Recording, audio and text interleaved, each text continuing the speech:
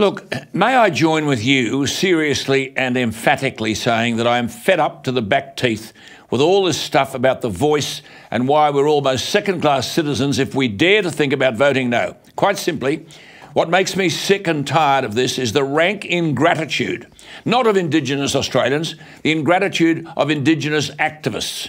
Not a thank you for the fact that year after year, Australians put their hand in their pockets via taxes to provide for Indigenous Australians. Where does the money go? 55% of Australia is under native title. The mining royalties go to Indigenous Australians. Where the hell does that money go? And the Yes campaign is now using John Farnham's You're the Voice well, the lyrics of the song say, try and understand it. I wish we could. I was with Indigenous Australians on Friday.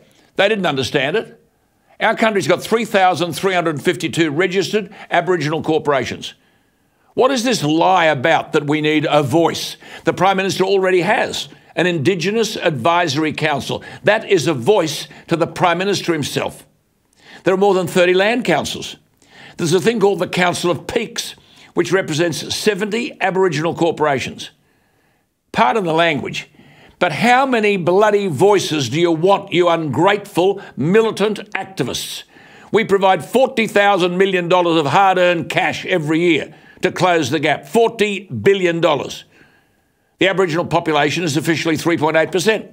There are 11 Aboriginal MPs in the Parliament, all with a voice, representing 4.8% of the Parliament voices and money everywhere. Look at the Harbour Bridge. An Aboriginal flag flies enjoying equivalence with the national flag. And no one seems to have the guts to say this is ridiculous. A symbol of a minority enjoying parity with a flag that represents all of Australia. If Indigenous Australians are part of Australia, they are represented by the national flag. Take the Aboriginal flag down, but oh no, the militant minority, the ungrateful minority, say, the Australian flag, according to the Uluru Statement from the Heart, symbolises the injustices of colonisation. So what do we do? Roll over and cop it? Roll over and surrender? Oh, we're a tough lot, aren't we? Just watch our ABC. They now don't broadcast a story from Goulburn, but rather from Burbong. Yeah, change the place names to accommodate a handful of activists rank and file Aboriginals, to whom I speak, think this is ridiculous. We don't have stories from Melbourne. We cross to a reporter in Naarm. Remember, Lydia Thorpe doesn't want a voice. She doesn't even want a treaty. She wants sovereignty. Are we going to roll over and cop all this stuff or emphatically vote no?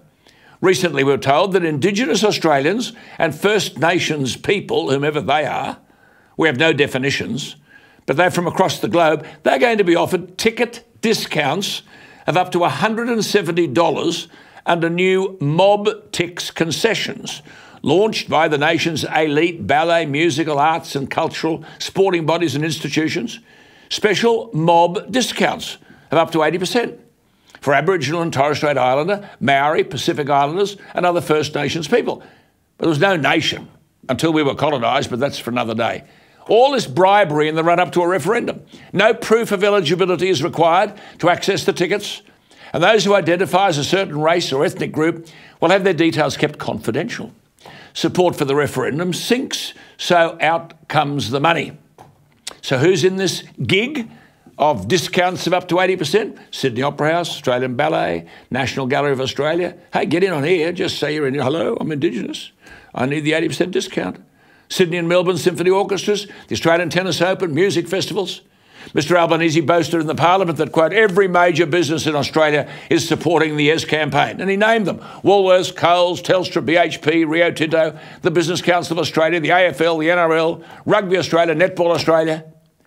We're in the middle of a cost of living crisis, and these big corporations purport to speak on behalf of their organisations at a time when the distrust of the corporate sector is at record levels. Witness Qantas. All of this provides a powerful reason why we should vote no. And when the vote comes in and the referendum is defeated, the boards of those corporations should have the decency to do what the British Prime Minister David Cameron did when he lost the Brexit vote resign. One writer, Professor David Barton, has had the guts to speak the truth. He argues that what passes as so called Aboriginal culture is an invention of the last 50 years. Dr. Barton, Professor David Barton, has written, quote, the Aboriginal industry is chock full of ill informed urban myth makers and illusionists.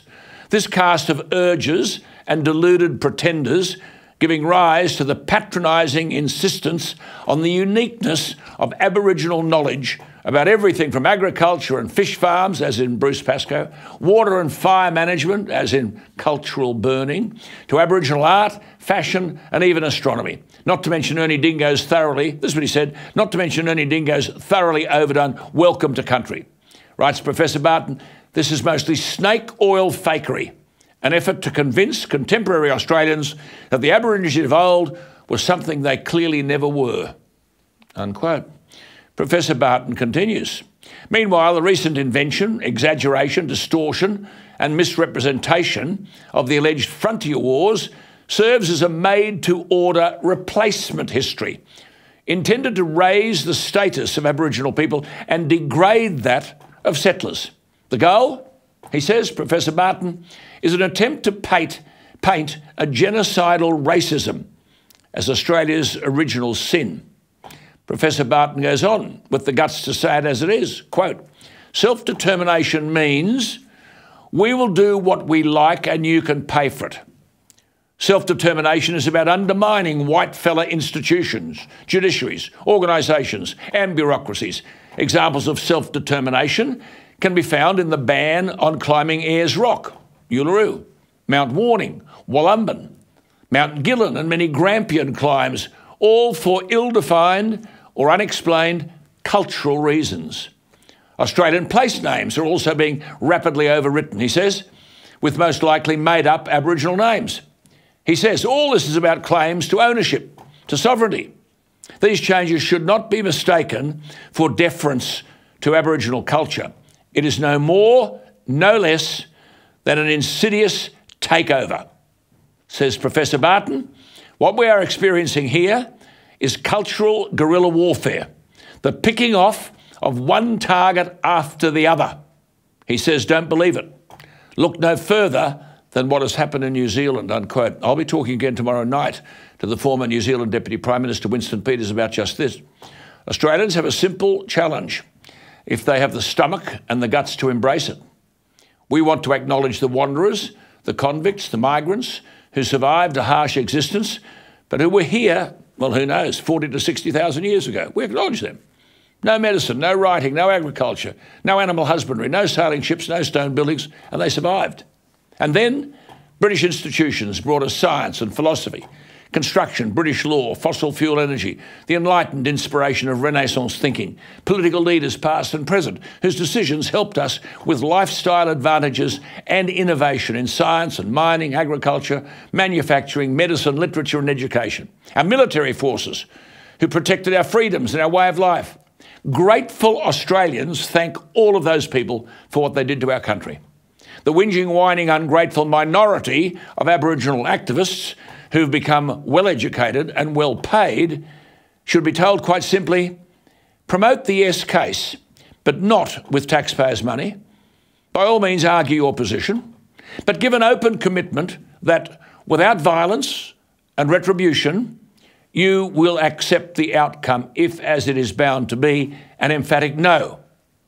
And if you haven't the decency to stop vilifying those who disagree with you, at least find the decency to express gratitude for the education that you've received and the opportunities that have come with it.